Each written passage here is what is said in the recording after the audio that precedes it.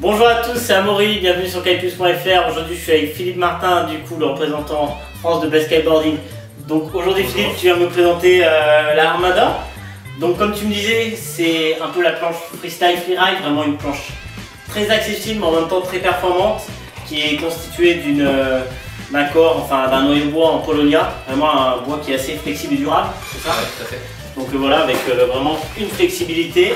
En même temps, derrière, il y a vraiment euh, voilà, toujours la, volonté d'avoir une planche vraiment euh, qui est polyvalente, qui va vous permettre de progresser avec euh, ici des channels, et puis voilà pour permettre une meilleure accroche, et avec également un concave interne pour un peu absorber le clapot.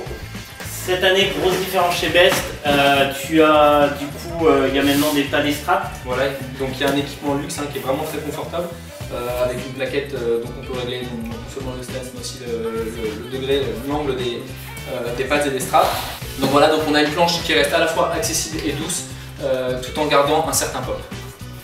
Ok.